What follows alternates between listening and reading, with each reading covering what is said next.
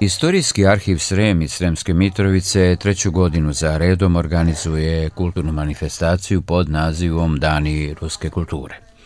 Svečano otvaranje bilo je u galeriji Lazar Vozarević u Sremskoj Mitrovici, a prisutan je bio i Denis Krugov, ataše za kulturu ambasade Ruske federacije iz Beograda. Pa ima ogrom značaj za povezivanje naroda i e, ne možemo samo da govorimo o ekonomskoj saradnji, nego treba i da što više e, organizujemo i pripremimo e, promocije, izložbe knjiga i tako dalje. Ovde smo na odličnom putu i mogu da konstatujem da imamo odličnu saradnju u tom smislu. Inače, to su tri dela jedan ima vezu sa godišnicom oslobađene Belorusije, 75. godišnice, drugi to su slike i portreti naših ruskih umetnika aktera i drugi to je Srem 19. veka na slikama.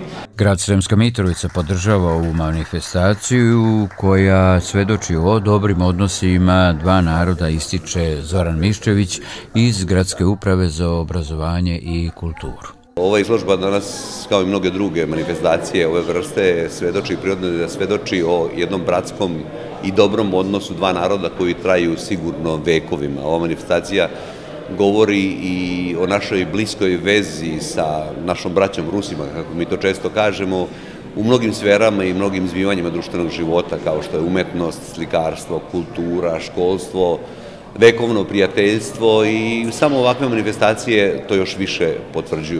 Manifestaciju prate izložbe fotografija lica ruske kulture autora Viktora Gorjačeva, izložba 75 godina oslobođenja Minska i Belorusije i treća obredi prelaza u fokusu objektiva fotografa Budimskih.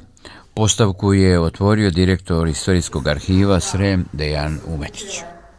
Program traje od 15. do 25. veoma je bogat. Imamo od ekonomskih tema, kulturnih, istorijskih, raznovrsnih, muzičkih normalno. Posebno bih istakao ove godine koncert pijaniste Krasnickog, kao i što smo uveli ove godine jednu novinu, to je da ćemo 18. i 19 organizovati izložbu ruskih rasa golubova, što do sada na prostorima bivše Jugoslavije nije niko organizovao i to međunarodnog karaktera. Svečano otvaranje upotpunio je svojim nastupom hor Rusinski zraci iz Sremske Mitrovice, a stihovima Jasna Arbanas i Margarita Vujović.